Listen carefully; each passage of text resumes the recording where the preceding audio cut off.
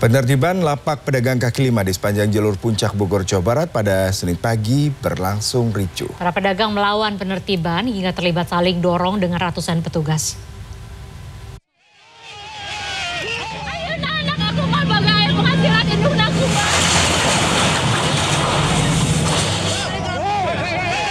Ratusan orang berusaha mengalau petugas gabungan untuk mendekati lapak pedagang kaki lima di kawasan Gunung Mas, Puncak Bogor, Jawa Barat pada Senin pagi.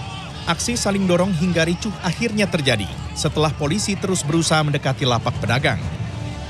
Meski melakukan perlawanan, akhirnya petugas gabungan dari kepolisian dan Satpol PP berhasil menertibkan lapak pedagang kaki lima.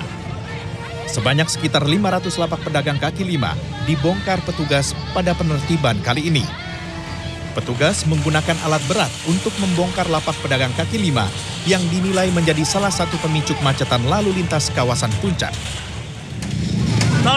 Pemerintah ini, terutama Pak Prabowo bilang, rakyat jangan dimiskinkan, jangan disengsarakan. Kami sudah sosialisasi, kami sudah rakor, dan ini telah bersosialisasikan sebelumnya. Usai ditertibkan, para pedagang kaki lima akan direlokasi di res area Cisarua. Muhammad Juanda, Bogor, Jawa Barat.